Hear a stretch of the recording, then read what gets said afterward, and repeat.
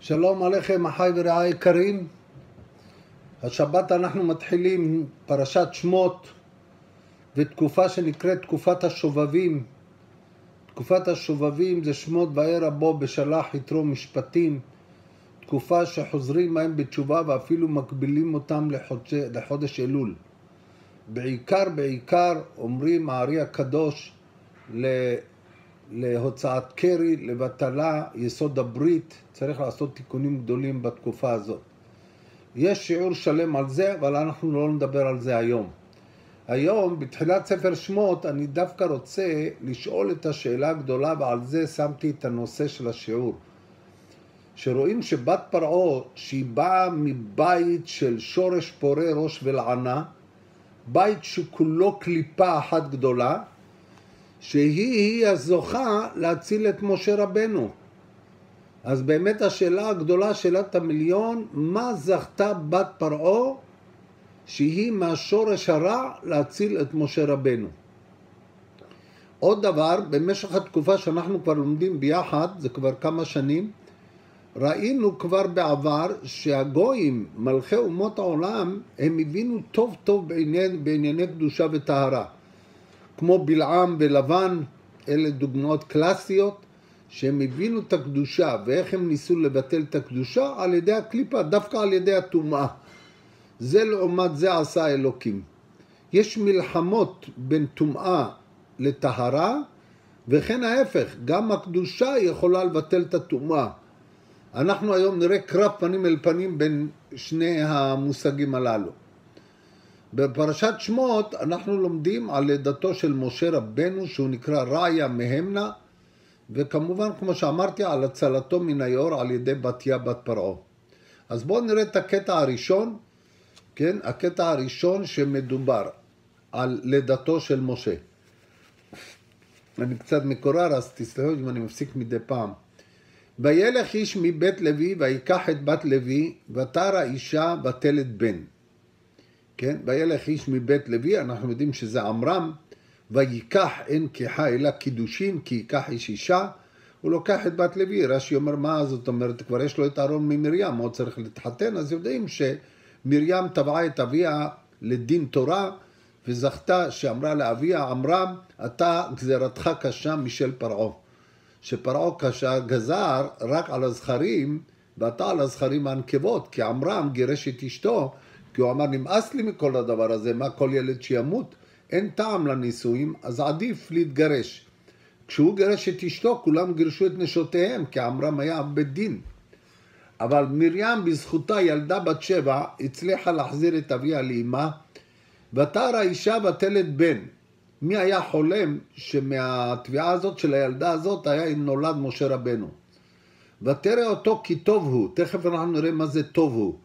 ותצפנהו שלושה ירחים, תזכרו את זה טוב טוב, שלושה חודשים היא הצפינה אותו, ולא יחלה עוד הצפינו, זאת אומרת יש לנו פה איזה דדליין, יש פה איזה קו אדום שאי אפשר לעבור אותו.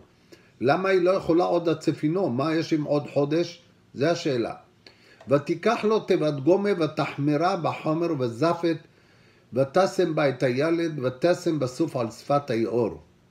שימו לב שהיא שם אותו על שפת היאור ולא ביאור. כי היה יותר, בטוח לשים אותו על המים העמוקים, לא הרדודים. למה היא שמה אותו על שפת היאור? ומרים ותתצב אחותו מרחוק לדעה מה יעשה לו. באותו רגע, שימו לב, אין צירוף מקרים, אין מקרה, מקרה זה אותיות רק מהשם. ותרד בת פרעה לרחוץ על היאור, ונערותיה הולכות על היד היאור. ותרא את התיבה בתוך הסוף ותשלח את המטה ותיקחיה. ותפתח ותראהו את הילד והנה נער בוכה ותחמול עליו ותאמר מילדי העברים זה. הפלא, הפלא ופלא, בדיוק באותו יום, באותו זמן, באותה שעה, באותו מקום, שיוכבד שמה את, ה, את משה, את התיבת משה על המים, באותו רגע בת פרעה יוצאת לרחוץ על היאור. זה מעניין. כן, אמרנו שאנחנו לא מאמינים במקריות, זה עמלק, זה מקרה. אנחנו, מקרה זה רק מהשם, או רקם השם. אבל נשים לב, כי אנחנו צריכים לענות תכף על כל השאלות הללו. השאלה הגדולה השנייה, ותשלח את המטה. כולנו יודעים את המחלוקת מה זה המטה. המטה יכול להיות ידה, יכול להיות שפחתה. כן, יש מחלוקת בין רבי יהודה לרבי נחמיה, אנחנו נראה את המחלוקת. השאלה הגדולה היא למה הקדוש ברוך הוא מכניס אותנו לספקות, אם זה יד או שפחה. יכל להגיד ידה, אם זה ידה, ויכל להגיד שפחתה, אם זה שפחה. למה להגיד המתה כדי שרבי יהודה ורבי נחמיה יחלקו מה זה המתה? אבל נשאיר את זה, אנחנו נמשיך הלאה. בדרך הפשט מגלה לנו כאן הכתוב את ההשגחה הנפלאה של הקדוש ברוך הוא, שהוא עילת העילות וסיבת הסיבות, כן? כמו שאמרתי מקודם, שורה 15. בדיוק באותה שעה שהניחה יוכבד משה רבנו בטבע על שפת היאור, בדיוק באותו רגע בת היאור, בת פרעון באה. אז מה, מה ראתה יוכבד, השאלה הגדולה, להניח את משה בתיבה על שפת היאור? זוכרים שהזכרתי את זה? הייתה צריכה לשים אותו באופן בטוח ביאור, לא שפת היאור. דווקא באותו יאור שפרעה גזר עליו, כל הבן הילוד היורם תשליכו. תראו רבותיי, כנראה שהיו עוד הרבה אגמים במצרים. האגם הגדול זה היה הנילוס, כן? עכשיו פרעה נתן גזר דווקא על הנילוס לזרוק, לזרוק את התינוקות, ויוכבד עושה הפוך על הפוך. היא רוצה להציל את משה, יפה, שם אותו בתיבה, זה מובן למה. אבל שם אותו ביאור שפרעה גזר לזרוק את הילדים ליאור. אז מה היא עושה? מישהו יפתח את התיבה וייקח את הילד ויזרוק אותו למים, מה הבעיה? אז מה היא עושה פה יוכבד? צריכים להבין את יוכבד טוב טוב, את הראש שלה, כן? אני ממשיך הלאה, אל תשכחו את השאלה ששאלנו, זה אנחנו רואים שדווקא בת פרעה היא היא שזכתה. היא היא שזכתה להציל את הילד מחמלה, ולמה היא זכתה? שאלה שלישית, שהרי ברור כי לא במקרה בחר הקדוש ברוך הוא דווקא את בתיה, כן? להציל את הרועה הנאמן. אז זאת אומרת, שאלה השנייה והשלישית למעשה הם תחת מטריה אחת, שאנחנו צריכים להבין בדיוק למה הקדוש ברוך הוא דווקא רצה את בתיה, שהיא תציל, ולא אישה אחרת. יש מיליונים של נשים שיכלו להציל. אז יש לנו ספר שנקרא תפארת עוזיאל, שזה לגאון הקדוש רבי עוזיאל מייזלי, שהוא התלמיד המובהק של המגיד ממזריץ', והוא אומר, ויצא פרעה לכל עמו לאמור, כל הבן הילוד היאורה תשליכו. אז מה צריך ביאור? למה בחר להרוג אותם דווקא על ידי השלכה ליאור? כאן הוא רוצה לברר לנו למה דווקא על השלכה ליאור, מה הוא יכול להרוג אותם? הוא אומר, כל הבן הילוד, תיקחו חרב, תיקחו סכין, תהרגו אותו בשנייה אחת. מה צריך ליאור? ההפך, ביאור עוד יכול להיות מצב שהילד יצא חי. למה? יש ילדים שצפים בדרך נס מעל המים, אבל ברגע חלילה שאתה קורע אותו לגזרים בסכין, הוא ימות בטוח. אז למה, למה העניין הזה, למה צריך דווקא השלכה ליאור? אז תיקחו בחשבון שהאלוהים של מצרים, המצרים, זה היה הנילוס. למה? כי במצרים לא ירדו גשמים, ובגלל שהנילוס סיפק להם מים להשקות את שדותיהם, לכן הם המליכו את הנילוס, אין להם בעיה לעשות עוד אלוהים, היה להם אלפי אלוהים. יש להם מילון קונקרדציה רק של שמות של אלוהים. יופיטר, גופיטר, שופיטר, כן? את הצפרדע, את הכבש, את העז, כל אלה זה אלוהים שלהם. ומעל כולם כמובן פרעה שם את עצמו, שהוא האלוהים בהידיעה. אבל קחו בחשבון, נזכר שהנילוס הוא האלוהים של מצרים. ואם אתם זוכרים את הפסוק ביחזקאל, שפרעה אומר לי יהיה אורי ואני עשיתיני, כן? אז רש"י מסביר לפי שכל גדולתה של מצרים בכל השובע שבה זה בגלל הנילוס. לפיכך הנביא ממשיל את מלכה לתנין. אז מי זה התנין? זה פרעה. ואת עמה לדגת היאור. אז הדגים זה המצרים. אבל תשכחו, אל תשכחו שהתנין זה פרעה, כי אני צריך את זה עוד מעט, לעוד מעט. מה אומר? לי יאורי. מה זה לי יאורי? אני לא צריך לעניינים, אני צריך, אני לא צריך עוד אלוהים. כי יש לי יאורי, מספיק כל צורכי. היאור נותן לי את הכל, אז זה האלוהים שלי. אני לא צריך עוד מישהו מלמעלה. ואני עשיתיני, במי גרם לכל זה? אני, בגבורתי, בחוכמתי, הגדלתי גדולתי וממשלתי. זה מה שנקרא, כן, אפס עצור ועזוב, אני ואפסי עוד, כוחי ועוצם ידי עשה לי את החיל הזה. הגאווה, תראו למה יכולה לגרום לאדם. עד כדי כך.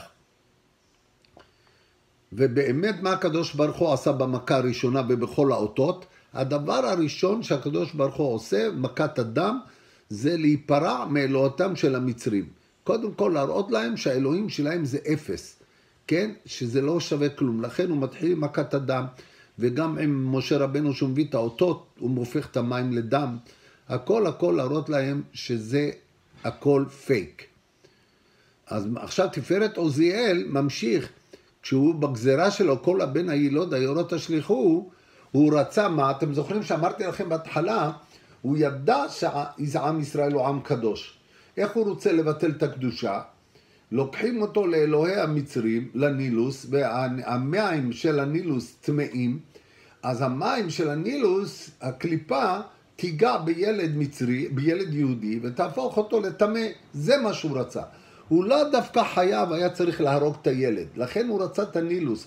כל העוצמה שלו, כל פרעה, כל המסר שלו היה לטמא את הילדים. זהו. אם הילד נשאר חי והוא טמא זה בסדר מצלו, העיקר שהקדושה, קדושת ישראל, לא תהיה עליו. זה מה שהוא אומר, להשקיע את ילדי ישראל בטומאת אלוהי מצרים. זה מה שהוא רצה. עכשיו, הוא חשב שהוא חכם, עכשיו, לכן התחכמה יוכבד להכניס את משה בתוך תיבת גומש, הכינה בקדושה. למה? כדי שהתיבה תפסיק בין משה ובין טומאת היאור. אל תשכחו שהיא שמה אותו בחמר ובזפת. למה היא עשתה את כל זה? שלא ייכנס טיפה של מים למשה חס וחלילה.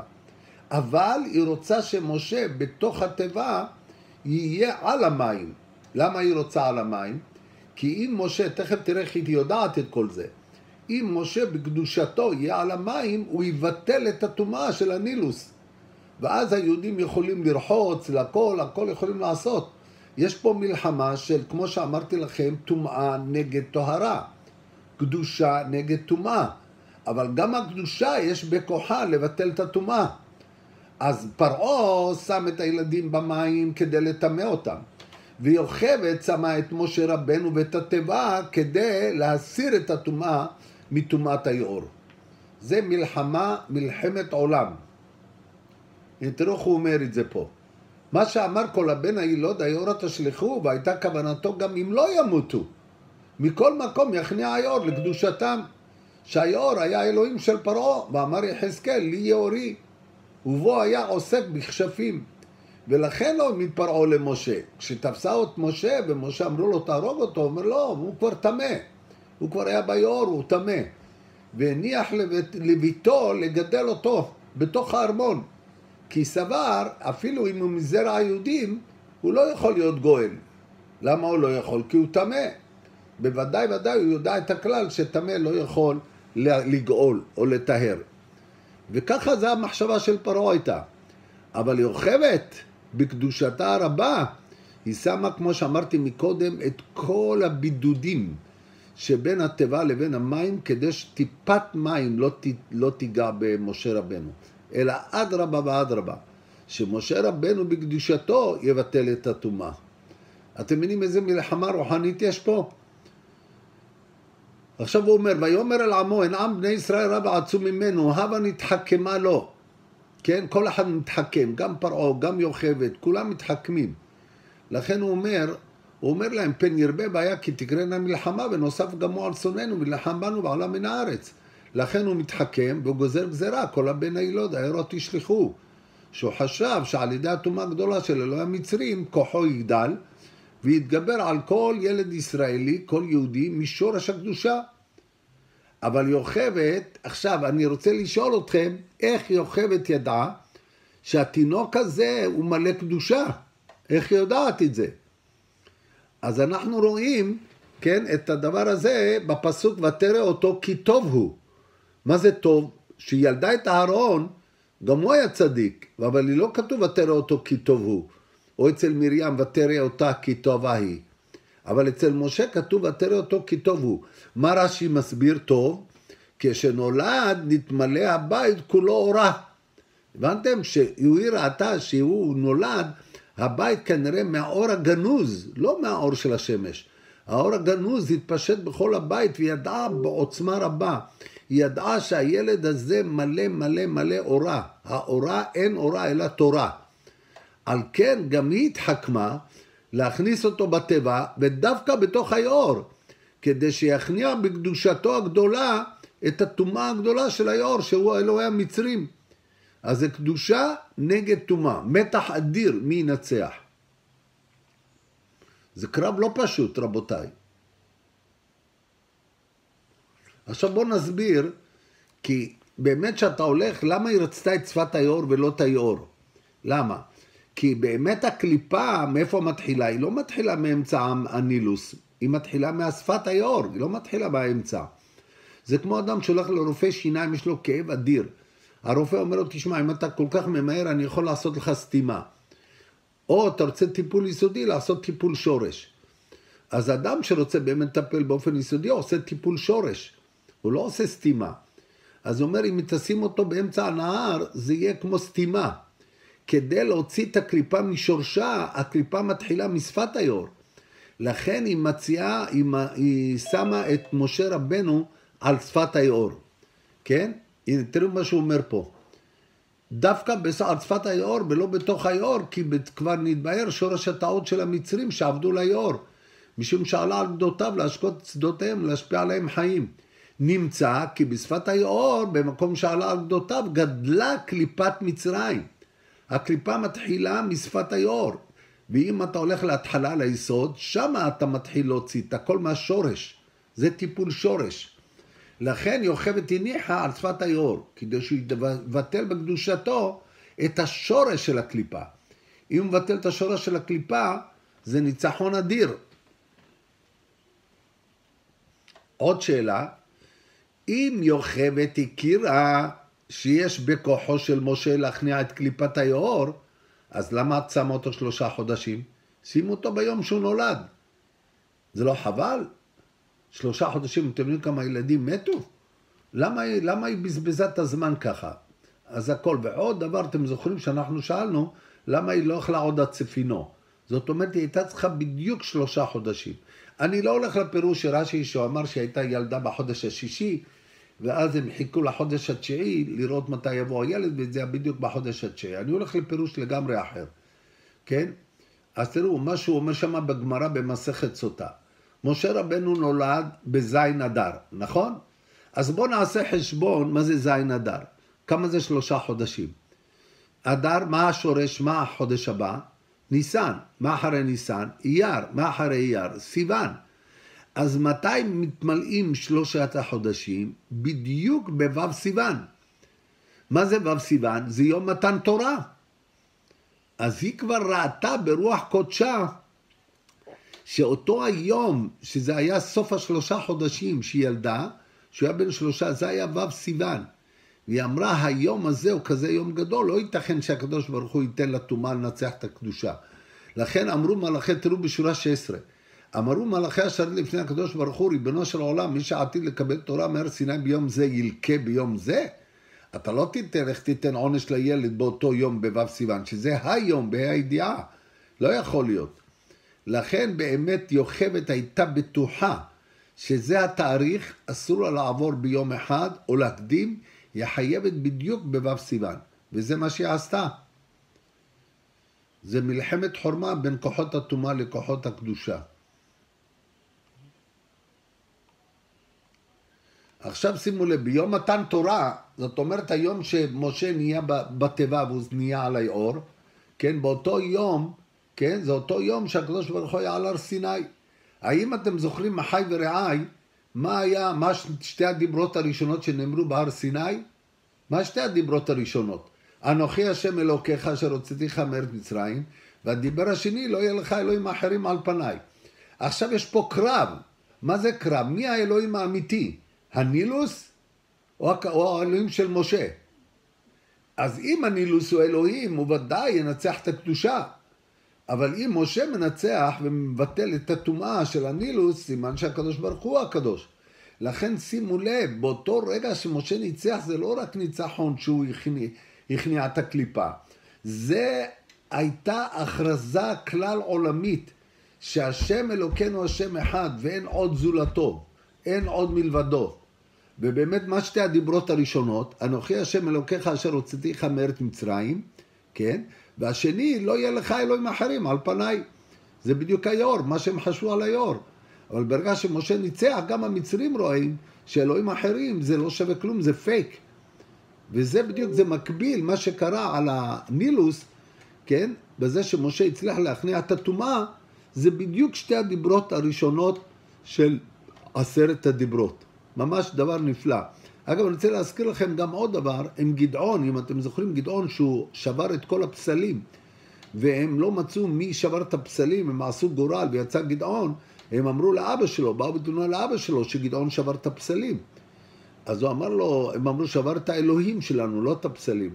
הוא אמר, שמעו אוזניכם מה שפיכם אמר, אם הפסל הוא אלוהים, אז האלוהים לא יכול לנצח את גדעון? תנו לו לטפל בגדעון, מה אתם צריכים להתערב? עשה מהם בציניות, הוא עשה מהם צחוק קצת, כן? בדיוק כמו שאברהם עם תרח, בדיוק אותו דבר. אז אם האלוהים האחרים הוא אלוהים, הוא ודאי יכול לנצח, אבל אם לא מנצח, סימן שכולו בלוף אחד גדול.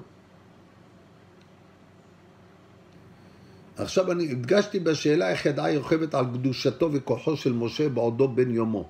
איך זה בדיוק זה? אז אנחנו אמרנו שהיא ראתה הרבה אורה, היה הרבה אור בבית, וזה היה מספיק לה כדי להבין שהוא אדם מיוחד. לכן היא גם באמת לא יכלה להצפינו יותר משלושה ירחים. למה? כי אם יעבור ו' סיוון, אז זה כבר דדליין, זה לא מתי, שהתורה ניתנה. והיא רצתה בדיוק ביום שהתורה ניתנה. לכן כשהיא אמרה, ותראה אותו כי טוב הוא, המילה טוב זה גם למילה תורה. כי לקח טוב נתתי לכם, תורתי אל תעזובו. לקח טוב נתתי לכם. הטוב זה התורה. האורה זה התורה. אז לכן באמת יוכבד כיוונה בדיוק את אותו יום. זה היה דבר גדול גדול גדול מצד יוכבד. הנה, ותראה אותו כי טוב הוא, כמו שפרש רש"י, נתמלא הבית כולו אורה. אור התורה שנקראת טוב.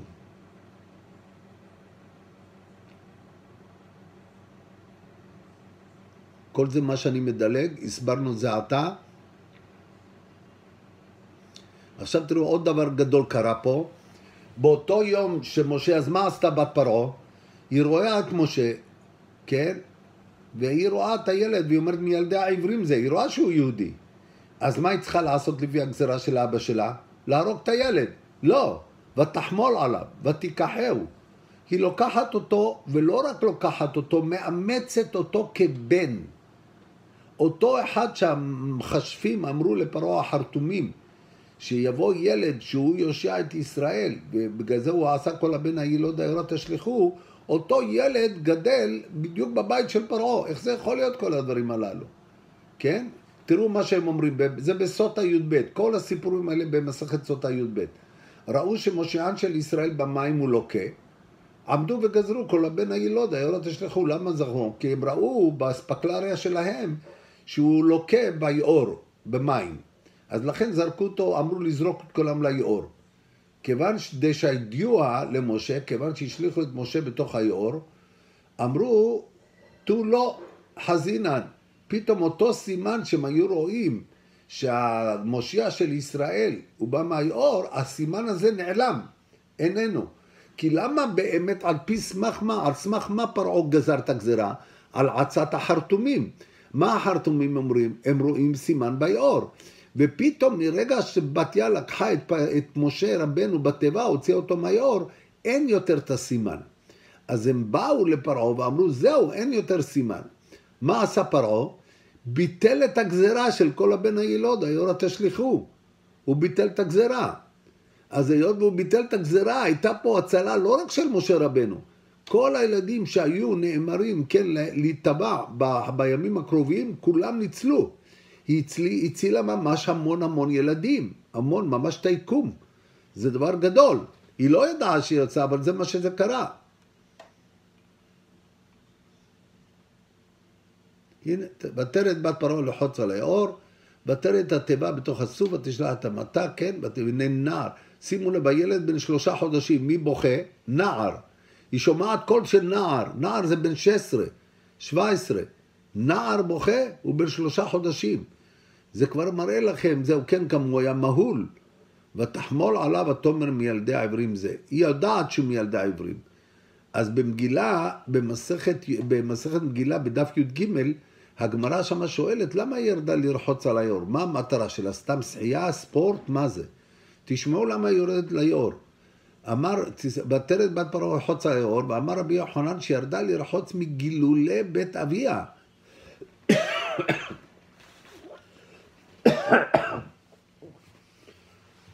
רבותיי, יש פה דבר אדיר.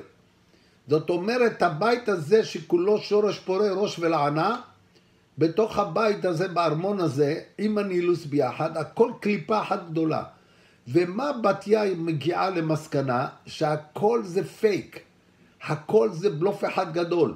שאבא שלה זה בלוף אחד גדול, זה פייק אחד גדול. אז מה היא עושה? היא לא יכולה להגיד לאבא שלה אתה פייק, אז היא מנסה להיטהר מהגילולים. עד שהיא יורדת לנילוס, תשימו לב, הגמרא, זה פשט בגמרא. אמר רבי יוחנן שירדה לרחוץ מגילולי בית אביה. היא יורדת לרחוץ מגילולי בית אביה. עכשיו אתם תשאלו אותי, אז מה, היא הולכת להיטהר במקום הטומאה? הרי אמרנו, מי שנוגע במים הוא נעשה טמא. אז תראו, כשאדם עושה תשובה גמורה, הגמרא ביומא, בפ"ו, גם הרמב"ם בהלכות תשובה אומר את זה. איך אדמה בעל תשובה? מחוי רב יהודה באותה אישה, באותו פרק, באותו מקום. אם אדם חטא באישה, כן, הוא ראה את אותה אישה, לא אישה אחרת, הוא ראה אותה באותו זמן שהוא תמיד היה רואה אותה, ובאותו מקום שהוא תמיד היה רואה אותה. דווקא במקום הטומאה, שהוא היה עושה איתה את כל העבירות, משם הוא נטהר. אז לכן הוא בא ואומר, אם אדם רוצה להיטהר לגמרי, היא רצתה להיטהר דווקא בתוך, מתוך הטומאה, דווקא משמה. הנה, תראו שלוש עשרה, הנה כי כן מטעם זה הלכה להתרחץ מגילולי בית אביה על היאור, שהוא אלוהי המצרים, כדי לשוב בתשובה באותו פרק, באותו מקום של אלוהי המצרים, שמה. תראו מה זה, אז מאיפה הילדה הזאת לקחה את כל זה? מה, היא הלכה לאולפנה? מאיפה היא יודעת את כל זה? ויש להוסיף כי מטעם זה הלכה לרחוץ על היאור ולא על שפת היאור. אתם יודעים למה? היא עושה הפוך מיוכבת. יוכבד שמה את התיבה בשפת היאור, כי זה חזק שמה. שמה זה השורש של הקליפה.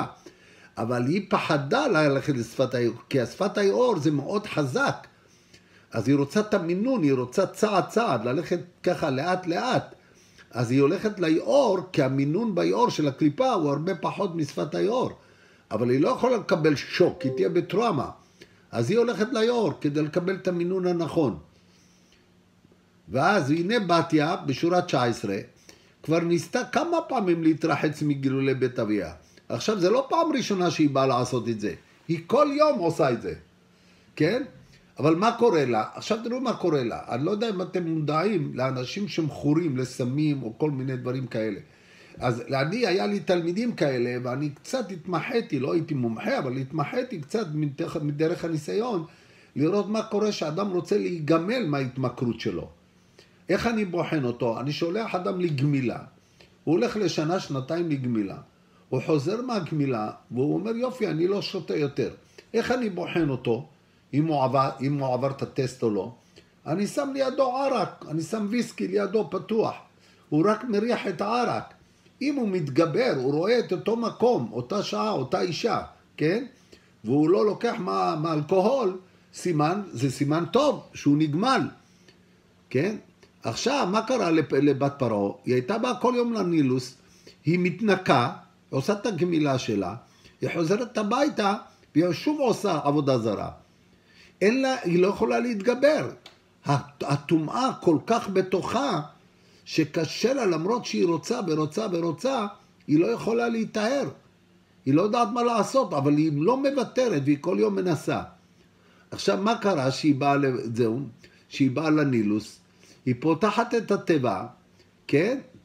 ואז היא רואה את משה רבנו בתיבה. מה קרה לה באותו רגע? מה היא ראתה? בדיוק מה שיוכבת ראתה.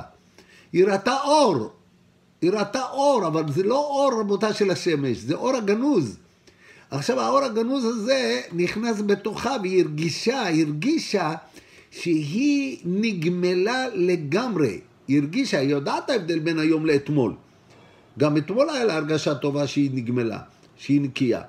אבל היום, כשהאור הזה של משה רבנו נכנס בה, היא ידעה, והיא ידעה שעכשיו היא נגמלה לגמרי. זה תחושה פנימית שאין להסביר אותה מבחינה רציונלית. ואנחנו יודעים למה הכוונה. כשיש לך תחושה פנימית, היא הרגישה את זה, זה לא תחושה, זה הרגשה. היא הרגישה. כמו אדם יש לו כאב ראש, הוא מרגיש כאב ראש, לא רואים אותו, וכשעובר הכאב ראש, אז הוא עובר, אומר לי כאב ראש, אבל זה בפנים, אבל אתה מרגיש את זה. היא הרגישה שהיא נגמלה, שהיא נקייה. עכשיו, ממה היא מפחדת, רבותיי? ממה? אז תגיד, בסדר, עשית ניקית, קחי את הילד, תטביעי אותו. תשמעי לגזירה של אבא שלך, מה, את לא מפחדת? לא. לא רק שהיא לא הורגת אותו, היא לוקחת אותו לארמון, והיא מאמצת אותו כבן. למה? כי היא מפחדת שהיא תחזור לארמון ושוב היא תעשה עבודה זרה. אז היא אומרת, אם הילד הזה יש בכוחו להוריד ממני ככה את הגמילה בארמון, בנילוס, אני לוקחת איתי כמגן וצינה. היא לקחה את משה שהוא יהיה מגן וצינה שהיא לא תחזור לעבודה זרה. אתם מבינים מה שקרה פה? זה משהו אדיר. אז היא לוקחת את הילד לאו דווקא מתוך חמלה על הילד, גם מתוך חמלה עליה. שהיא רוצה להיגמל לגמרי מהעבודה הזרה של אביה מכל הקליפות, והיא ראתה שבנילוס זה עבד, אבל היא לא רוצה שזה ייפסק, היא לא רוצה לקחת שום סיכון, היא לוקחת את הילד ומאמצת אותו.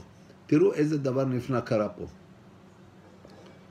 גם היא מתחכמת, אז גם יוכבד התחכמה, גם פרעה התחכם, וגם בת פרעה מתחכמת. כל אחד יש לו את החוכמה שלו. אז אנחנו עוברים פה עכשיו לשאלה שהתחלנו, שאלת המיליון, מדוע זכתה בת פרעה, כן, בת פרעה ל, ל, להציל את משה רבנו.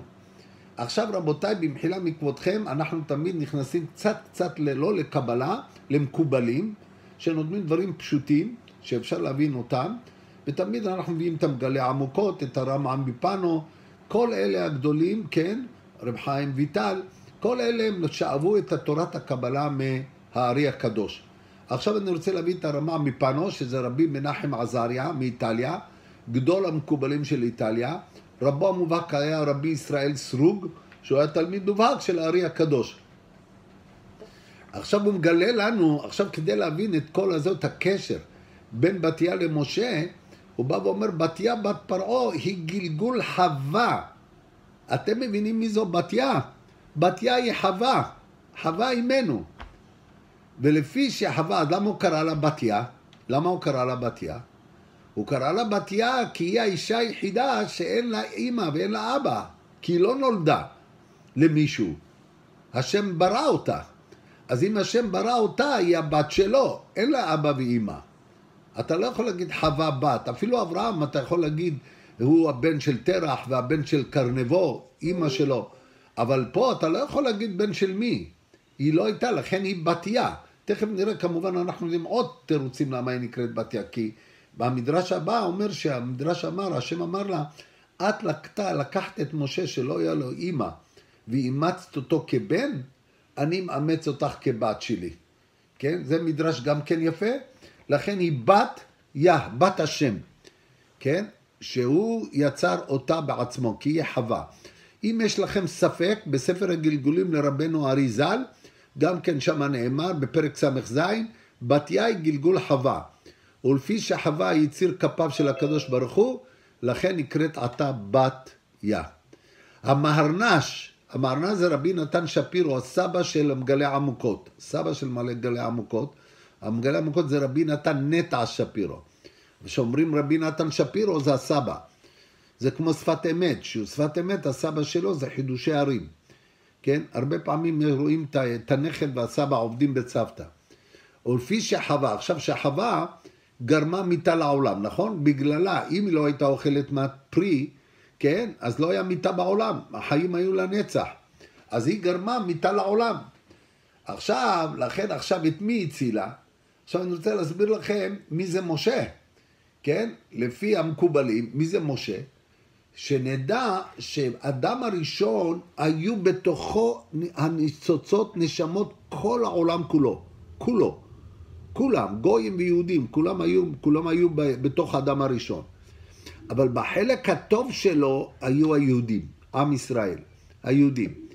ומי היה שם? משה רבנו. משה רבנו גם כן, גם כן ניצוץ של אדם הראשון. ומה שאמרה ותרא אותו כי טוב הוא טוב הוא, זה הטוב, זה הכוונה, החלק הטוב זה משה רבנו. אז משה רבנו הוא למעשה האדם הראשון. ובתיה היא חווה. אז תגידו לי, אז מי זה בתיה ומשה בגלגול הקודם? זה בעל ואשתו.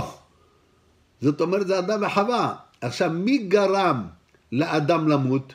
מי גרם לו? אשתו. ומי גרם עכשיו אחרי זה בגלל החטא כולם למות? בכלל, כל המיטה שיש לנו היום היא, היא חווה. אז מה התיקון שלה? מה היא צריכה לעשות תיקון? התיקון שלה להציל אנשים ממוות לחיים. אז היא אומרת למשה כביכול, תשמע, אני הפלתי אותך. בגללי אתה נפלת, אבל אני עכשיו אקים אותך. אני מושה אותך מן המים, אני מצילה אותך. כי אני חייבת לך את זה, זה התיקון שלי. אני חייבת לך את זה. עכשיו, בעקבות זה שהצילה את משה ולקחה אותו לארמון, הגזרה בטלה. אם הגזרה בטלה, אז הרבה ילדים יהודים ניצלו. וזה התיקון של בת פרעה. בת פרעה עשתה תיקון לגלגול הקודם שלה לחווה, היא עשתה את תיקון המיטה. תכף תראו עוד מה השכר שלה. עוד לא הגענו לשכר שלה. הנה, ואלה בני בתיה, בת פרעה, זה מדרש רבה. רבי יושע בשם רבי לוי אמר לקדוש ברוך הוא לבתיה בת פרעה, משה לא היה בנך, וקראתו בנך, ואת קראתו בני. אף את לא עד עד ביתי, ואני קורא אותך ביתי. אפילו שאת הבת של פרעה, אני קורא לך ביתי, שנאמר, אלה בני בתיה, בת השם, אשר לקח לו מרד. מי זה מרד? זה כלב. כלב, by the way, דרך אגב, הוא התגיירה בתיה והתחתנה עם כלב בן יפונה. תראו לאן זה הלך, לאן זה הגיע, כן? אני חוזר לגמרא המפורסמת שלנו במסכת סוטה בדף י"ב, כי אחרי שהניחה יוכבד את משה, ביאור נתבטלה גזירת פרעה מכל ישראל, זה מה שאמרתי. אז היא הצילה אותם. הנה, תראו ב-21, דע שמשה היה בחינת אדם הראשון. מי, אתם זוכרים שבוע שעבר מי אמרתי לכם אדם הראשון? שבוע שעבר היה אדם הראשון יעקב אבינו, שהוא ממש גלגול. אבל משה רבנו היה כל הניצוצות. עכשיו משה רבנו הוא כלל ישראל. בתוך אדם הראשון היו כלל הנשמות של העולם. ובתוך משה היו כלל הנשמות של עם ישראל. אז יש לנו פה אחד בתוך השני, זה מורכב. אז האדם בתוכו היה משה, ובתוך משה כל כלל עם ישראל. משה מייצג כל יהודי ויהודי, לכל יהודי ויהודי יש איזה משה לקטן בתוכו. וקחו את זה, זה לא, זה לא קלישאה, זה אמת. וכמו שהאדם הראשון היה כולל כל הנשמות בעולם, כן משה שקול ככלל ישראל. וזה נאמר בספר הליקוטים של הארי ז"ל. דע כי משה היה בחינת אדם הראשון עצמו. וכמו שבאדם הראשון היו כללות כל הנשמות שבעולם, גם משה היה שקול ככל ישראל. אז מוסיף הארי, כי משה רבנו היה בבחינת החלק הטוב של האדם הראשון, אחרי שכבר חזר בתשובה שלמה על חטא עץ הדעת. והגמרא בעירובין בי"ח אומרת, אדם הראשון חסיד גדול היה. למה? כיוון שראה שנכנסה מיטה על ידו, שהוא ראה שבגללו כל העולם סובל ואנחנו קיבלנו את המיטה, ישב בתענית 130 שנה. 130 שנה. אתם זוכרים שבוע שעבר אמרנו מה היה? מה היה 130 שנה? אמרנו, גלגול, יעקב. שאל אותו פרעה, בן כמה ימי שני חייך? הוא אמר, מעט ורעים הם ימי שני חיי, שלושים ומעט שנה. זאת אומרת, הוא אומר, יעקב אומר לפרעה, 130 שנה אני סובל. אז ראינו שבאמת יעקב הוא תיקו, גלגולו ותיקונו של האדם הראשון. ואז הסברנו, האדם הראשון, היות והעונש היה מוות, אז אם יעקב עשה תיקון למוות, אז הוא לא מת. לכן הגמרא אומרת, בתענית דף ה', יעקב אבינו לא מת, הוא עשה תיקון למוות, הוא לא מת. עכשיו בואו נראה פה. אומר, אם אתם זוכרים, באמת, בן כמה היה משה שהוא התחיל את הפוליטיקה שלו? בן 80. כמה שנים היינו במצרים? 210. כמה זה 210 פחות 80? זה 130. זה 130 שנה, כן? לכן נולד משה, משה נולד אחרי 130 שנה מתחילת גלות מצרים. זה ה-130 שנה של התשובה של העינויים, הסבל, הייסורים שעברו כולם. ותראה אותו כי טוב הוא. עכשיו כשאומר ותראה אותו כי טוב הוא, אז חוץ מהמילה טוב שזה מלא אורה, יש עוד משמעות. החלק הטוב של האדם הראשון. זאת אומרת שהיא ראתה את הטוב, היא ראתה שמשה רבנו הוא החלק הטוב של האדם הראשון.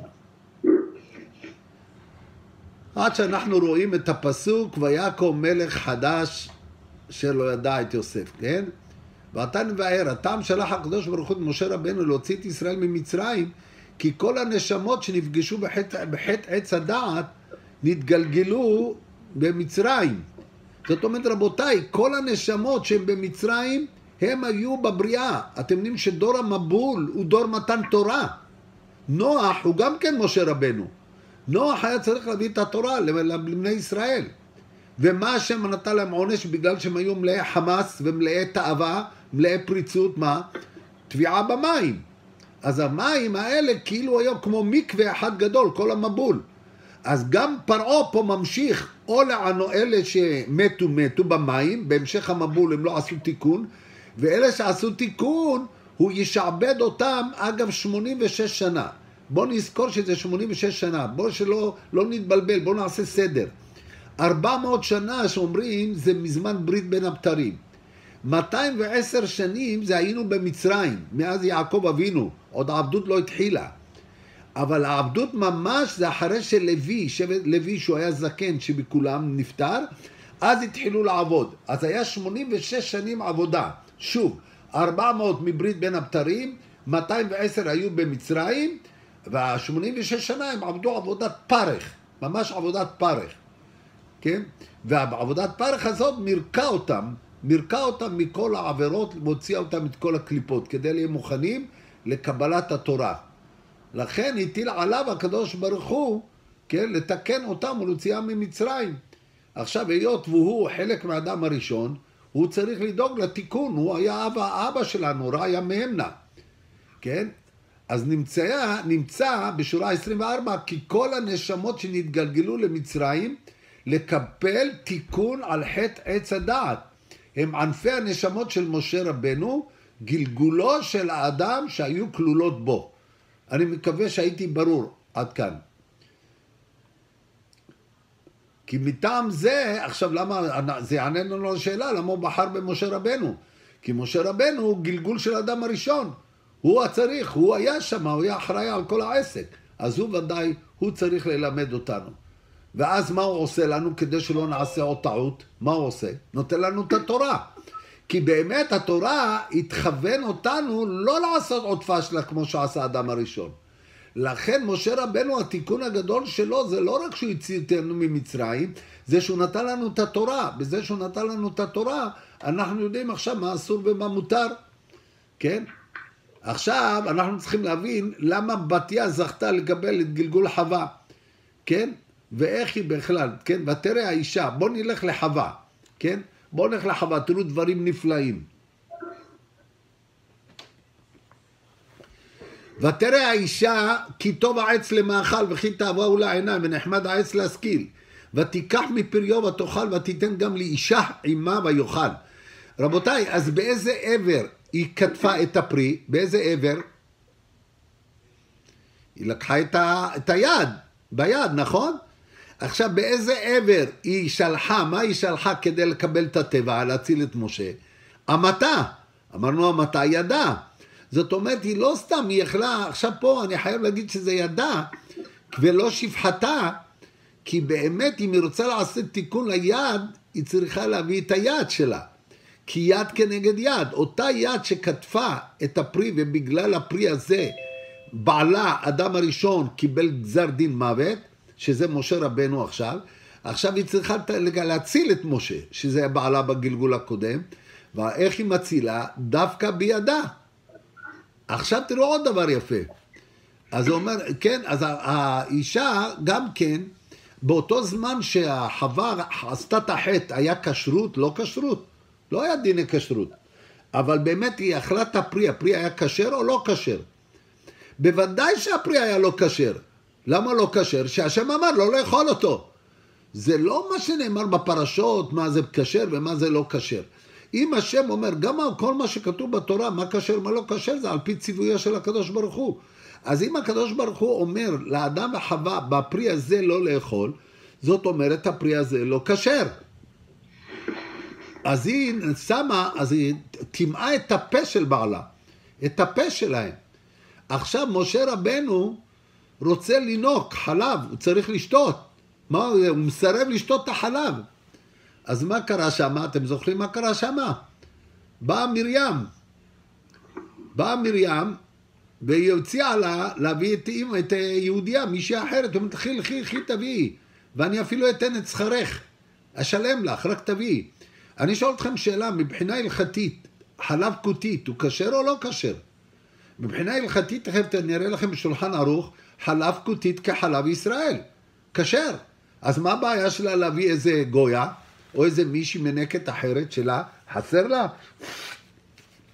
אז הוא אומר, לא, היא רוצה לעשות עכשיו תיקון, כי היא אכלה, מה היא אכלה? היא אכלה אוכל לא כשר. עכשיו, מה ההפך של לא כשר? זה לא כשר, זה כשר למהדרין. עכשיו היא רוצה להביא לילד לא רק חלב, חלב ישראל. אז כשהיא מביאה את החלב ישראל לילד, אז היא יודעת שעשתה תיקון גם ליד שלה, כן? וגם לאוכל הכשר שהיא נתנה, לפרי. שהיא נתנה לו לשתות חלב ישראל.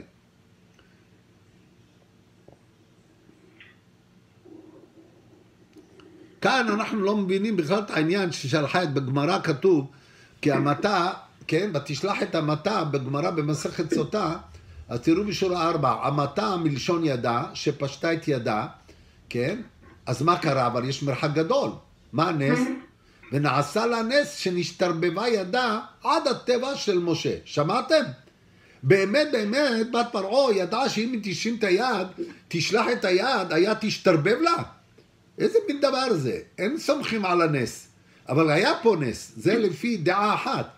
לפי האמור יש לומר כי היה, היות שבחטא עץ הדעת ותיקח מפריו ותאכל, אז אנחנו אמרנו בגלל שזה היד, אז היא שלחה את המטה שזה ידה. אני חייב לקחת את הפירוש שזה ידה ולא המטה, עד כאן. אנחנו תכף נראה, אני צריך גם המטה שפחתה. אבל פה אני מסביר שזה ידה, כי היא רצתה תיקון ליד, כמו שהסברנו. תראו במסכת שבת, אז מה, על מה שמחה? בדף ק', בא להתאר, מסייעים אותו.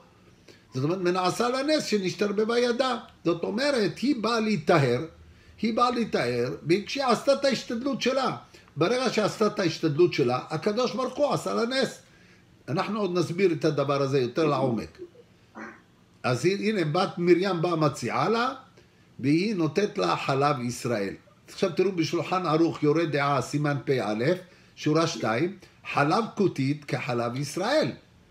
אז אבל היא, בגלל שהיא רוצה לעשות תיקון למהדרין, היא באמת, אגב, שלא תיקחו את זה כהלכה ממש, כי באמת אומר, אבל לא, זה בדיעבד בדיעבד, כי חלב כותית יכולה להביא טמטום הלב.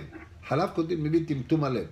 אבל כעיקרון, בשעת חירום, אפשר להביא לו חלב כותית, אבל היא רצתה לעשות תשובה גמורה. עכשיו אנחנו רוצים להבין איך אותה חווה, יציר כפיו של, היהודי, של הקדוש ברוך הוא, שהיא הייתה האימא הראשונה שלנו, היא מתגלגלת לבת פרעה, הבת של הקליפה הכי גדולה בעולם. הקליפה הכי גדולה בעולם זה היה פרעה. מה הקשר בין ילדה צדקת כזאת לאבא רשע מרושע כזה? אין פה גנים, הגנים שונים לגמרי. מה קרה? אז אנחנו רוצים להגיד לכם, אז היות עכשיו אני יודע שבתיה זו חווה. אני יודע שמשה זה אדם הראשון. אז מי זה פרעה? תראו מי זה פרעה. השאלה הקדוש, שהוא מביא את הזוהר הקדוש למי שיש לו ספק.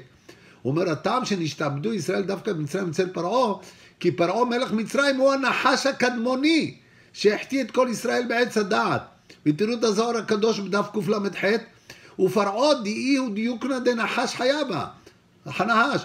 לכן גלגל הקדוש ברוך הוא את אותם נשמות שחטאו בעץ הדעת, בעצת הנחש, להיות בקושי השעבוד במצרים אצל פרעה.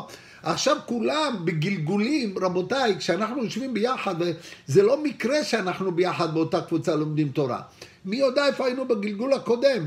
שהיינו, אני לא יודע איפה היינו, וכאן אנחנו עושים איזה זיכוך, איזה תיקון, שאין לנו שליטה בדבר הזה.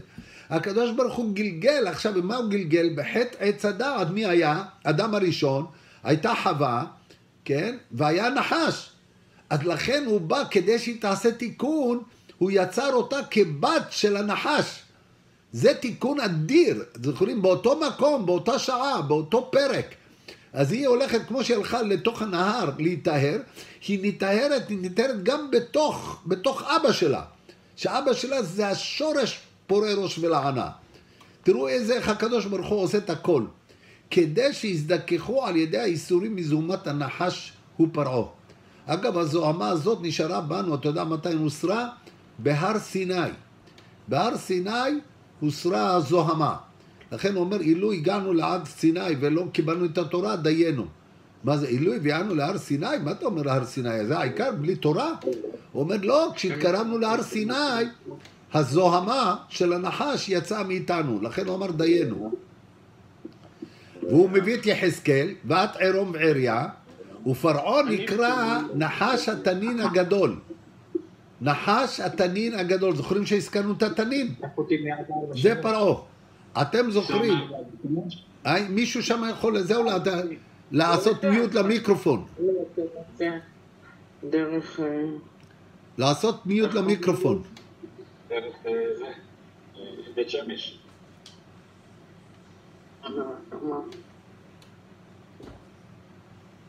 אוקיי. אז אמרנו שפרעה נקרא נחש הוא התנין הגדול. אתם זוכרים מה הקללה לנחש הייתה? אל עפר תשוב, כן?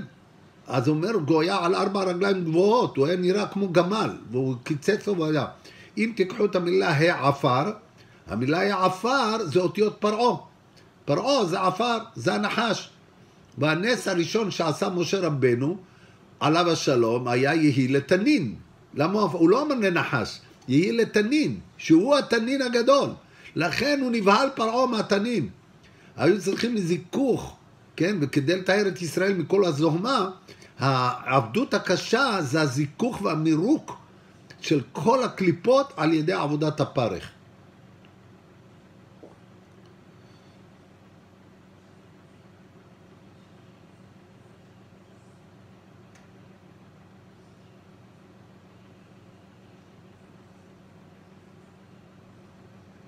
כל מה שאני שוב אומר, מדלג, זה הסברתי לכם עכשיו ממש. אז מסרה נפשה לכן מסרה ופשטה ידה להצילו ממוות לחיים. כדי שיתקן את כל הנשמות שחטאו בעץ הדעת ונתגלגלו במצרים להזדכך שם.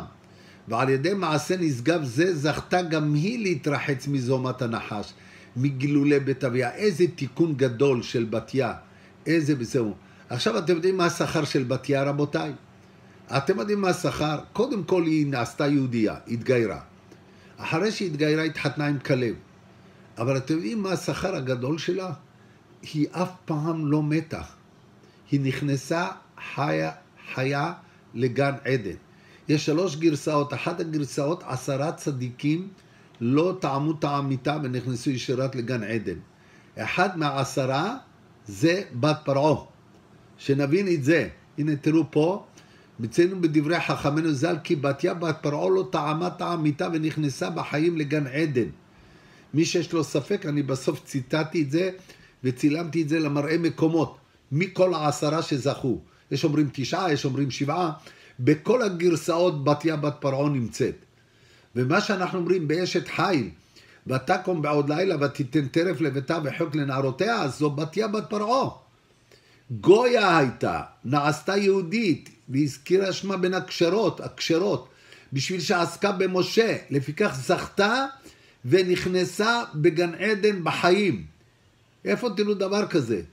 לפי האמור יש לומר הביאור הזה כי על ידי שהצילה את משה גלגול אדם הראשון ממוות לחיים, תקנה בכך מה שהביאה המיטה על אדם הראשון, על כל העולם. זוכרים אמרנו למה יעקב זכה ולא מת? כי יעקב עשה תיקון. אם יעקב אבינו עשה תיקון, אז הוא לא מקבל עונש מוות, אז יעקב אבינו לא מת. אותו הדבר בתיה. בתיה נאמר עליה אפילו מה שנאמר אצל, לא נאמר אצל יעקב. יעקב לא כתוב שהוא נכנס גן עדן חי. כתוב שהוא לא מת. אצלה כתוב שהיא נכנסה לגן עדן בחייה. אז הוא אומר, בגלל שהיא עשתה תיקון כזה גדול, אז אין מיתה, היא הורידה את העונש. לכן היא באמת נכנסה חיים לגן עדן. איזה דבר נפלא. עכשיו בואו נראה את הזהו, מה זה ותשלח את המתה. פה אני כבר מתקרב לסוף, לסיום, תשימו לב.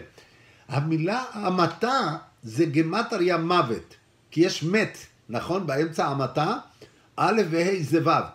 אז א' וה' זה ו', זאת אומרת, ותשלח את המתה בזה שהצילה את משה והצילה את כל הילדים שלא היו, שהיו אמורים להיטבע. אחרי זה, אז היא שלחה את המוות ממנה, היא לא יודעה מה זה מוות, שלחה. זאת אומרת, היא בעצמה, בזכות זה נכנסה בחיים לגן עדן.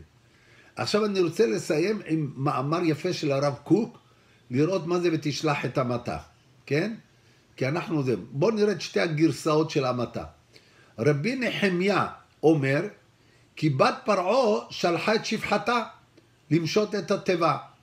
אבל רבי יהודה אומר, כי בת פרעה שלחה את ידה למשות את התיבה ונעשה לנס והשתרבבה ידה אמות רבות. אז תגידו, מי יותר רציונל? מי יותר הגיוני, רבי נחמיה או רבי יהודה? ודאי שרבי נחמיה. זה יותר הגיוני שהיא שלחה את השפחה להביא את התיבה, מאשר לבוא להגיד שלחה את ידה והיד השתרבבה. כבר שאלנו מה זה, מה זה, היא שמחה על הנס? בלשון הגמרא, ותשלח את המטה ותיקחה רבי יהודה ורבי נחמיה. אחד אמר ידה ואחד אמר שפחתה. ולמאן דאמר ידה לכתוב ידה, כמה שמעלן דשתרבו וישתרבו ו... אז אני אשאל בצורה אחרת. מי כתב את התורה? הקדוש ברוך הוא כתב את התורה. אם הקדוש ברוך הוא כתב את התורה, יש בתורה את המילה יד ויש את המילה שפחה. אז למה הוא לא כתב לנו בפירוש אם זה ידה או שפחתה, ואז לא צריך את המחלוקת של רבי נחמיה ורבי יהודה. למה צריך את זה? למה הקדוש ברוך הוא מאתגר אותנו? למה הוא נותן לזה, מה, להתכסח אחד עם השני ולבוא לסמוך על הנס? תכף אנחנו נראה. רבי שמחה בוני מפשיסחה, בספר בעל קול מבשר, הוא מסביר בצורה יפה שהדברים שאנחנו יודעים אותם, אבל הוא מסביר את זה בצורה חזקה. יש ללמוד מה שבת פרעה מלמדת אותנו לאקטואליה. שיש תועלת גדולה בעבודת השם, שלא נמנע האדם את עצמו, לא ימנע בשום מעשה הישר והטוב, אף שיראה מראש שלא יעלה בידו להגיע עד תכלית. אם אתה עכשיו יש לך דבר מאוד מאוד מאוד טוב, מצווה גדולה גדולה לעשות, אבל אתה רואה שזה בלתי אפשרי כמעט, אומר אל תחבול בתחבולות, תנסה, תנסה, תעשה משהו, ואז ברגע שאתה מנסה, משתדל, כבר השם מסייע בידך. הוא אומר, זה מה שבת פרעה מנצל, מ, מ, מלמד אותנו. שהוא אומר, המתחיל במצווה, אומרים לו גמור. וכן כך, היא עשתה את שלה, לשלוח את ידה, אמה אחת. ונעשה לה נס ונשתרבבו אמות הרבה. זה כמו שאמר, הקדוש ברוך הוא אומר לנו שמה, פיתחו לי פתח כחודו של מחט, ואני אפתח לכם פתח כפתחו של אולם. אז, אז הרב קוק אומר דבר יפה, השאיפה אל המוגמר היא-היא בבחינת המוגמר עצמו. זאת אומרת, אם אתה שואף למשהו טוב, כל כך טוב, כל כך חיובי, אפילו נכשלת, אתה כבר הגעת לשלמות. שימו לב איך אומר הרב קוק. השאיפה אל המוגמר היא בבחינת המוגמר עצמו. אם האדם עלול תמיד למכשול, להיות פוגם בצדק ומוסר, אין זה פוגם את שלמותו. מאחר שעיקר יסוד השלמות שלו היא ההריגה והחפץ הקבוע אל השלמות. עצם זה שאתה שאפת אל השלמות, ואפילו לא הצלחת להגיע על השלמות, כביכול לא הצלחת, הגעת אל השלמות, זה השלמות. השלמות זה השאיפה וההשתדלות. אז לפעמים יש נס ונשתרבב הידה והקדוש ברוך הוא מסייע. לפעמים לא רואים את השתרבבות. אבל אל תדאג, אומר הרב. הרב אומר, השאיפה אל המוגמר, זה מוגמר. תראו איזה דברים חדשים. עכשיו תראו, שאנחנו שתי דקות, שלוש דקות לפני הסוף, איזה דברים. הרב אומר שיש ידיעה ויש רצון ויש יכולת. אני שואל אתכם, ידיעה זה סופי או אין סופי? זאת אומרת, האם זה נצח או לא? ודאי שידיעה זה אין סופי. ידע, כמה שאתה לומד, לומד, לומד, אתה רואה שאתה לא יודע. הידיעה היא אין סופית. הרצון של האדם הוא גם כן אין סופי. אתה יכול לרצות להיות מלך, להיות עשיר, כן, רצון זה רצון. אז הוא אומר, אתה לא יכול, אתה לא יכול, אה, זהו, זה, זה אינסופי. היכולת של האדם, כשיש לך, יש לך...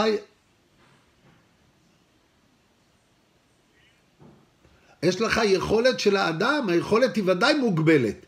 אז אם אני מחלק את זה לשתי קבוצות, ידיעה ורצון, זה אינסופי, זה נצח. ויכולת זה מוגבל. תשמעו מה שאומר הרב.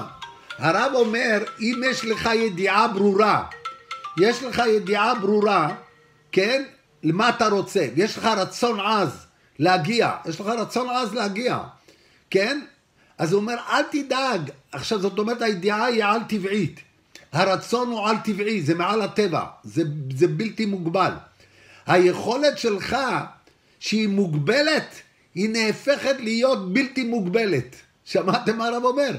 אם יש לך ידיעה ברורה מה אתה רוצה, ויש לך רצון עז, אתה רוצה להיות ראש ישיבה, יש לך, אבל הציונים שלך בישיבה היו 60, 70, זה לא מספיק לראש ישיבה.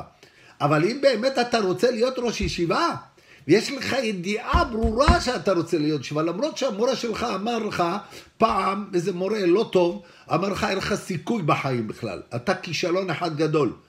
אל תשים לב למורה הזה, המורה הזה הוא לא מורה. אבל אם יש לך ידיעה ורצון שאתה רוצה להיות ראש ישיבה, אז היכולת שלך היא תהיה גם כן בלתי מוגבלת, גם כן תהיה על טבעית. הבנתם? זה דבר גדול. אז מה אומר הרב? תשמעו מה אומר הרב. לבת פרעה היה ידיעה, נכון? מה הידיעה שלה היה? שהיא רוצה להציל את הילד. עכשיו הרצון שלה, מה? יש לה רצון ברור. אז עכשיו היכולת שלה היא לשים את היד. אז ברגע שהיא שפ, פש, פשטה את ידה, היד השתרבבה, אז לפי הרב זה בכלל לא על טבעי, זה טבעי. שהיכולת נהפכת על טבעי בגלל הידיעה והרצון. אז הוא אומר ככה, אז עכשיו רבותיי, אני רק מסיים במשפט אחד, תראו בדבר הזה. אז מה זה המתה?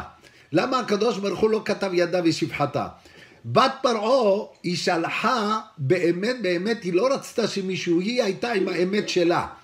אבל אם ליד היא תציל את הילד והשפחות נמצאות, מה יהיה בגוגל? מה יהיה בוואטסאפ? מה יהיה? כי יש לה כל העולם ידע ואבא שלה יהרוג אותה, עברה על הגזירה של אבא שלה. אז מה היא עושה? היא שלחה את אמתה הביתה. את אמתה הביתה. עכשיו עם מי היא נשארה? היא נשארה עם הטבע, עם הקדוש ברוך הוא ועם האמת שלה. עכשיו היא שלחה את... הרב יגאל? כן. הרב יגאל, הרב אמנון כבר על הקו. אוקיי, 30 שניות, צודק. 30 30 שניות. כן, אפילו שנייה, אפילו דקה, אפשר. אוקיי. אפילו שתיים. אה.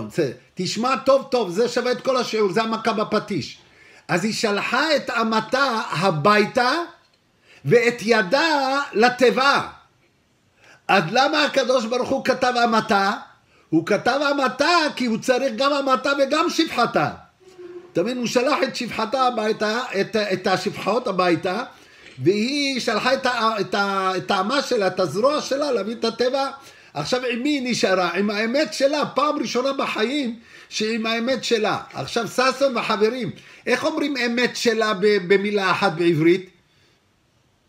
אמרת? המתה? אז יש לנו עוד המתה. אז שלוש משמעויות. גם את השפחה הביתה, וגם, וגם את האמה לזהו, וגם עם האמת שלה. ואל תשכחו שהמתה זה גם מוות, והיא שלחה את המוות ונכנסה חיה לגן עדן. אז תגידו לי רבותיי, מי הציל את מי? משה את בת פרעה או בת פרעה אותו? מי משה את מי? מי משה את מי? אז לא רק בת פרעה משתה את משה מן המים, גם משה משה את בת פרעה מעבודת הגילולים, זה עבודת צוות. היא הצילה אותו והוא הציל אותה. אז הם עבדו בצוות, תראו, הלוואי ייתן השם, ומשה רבנו זכותו שהוא כלל ישראל, יגן עלינו וישלח לנו במהרה את משיח צדקנו במהרה בימינו אמן. אמן, אמן, יישר כוח, יפה מאוד.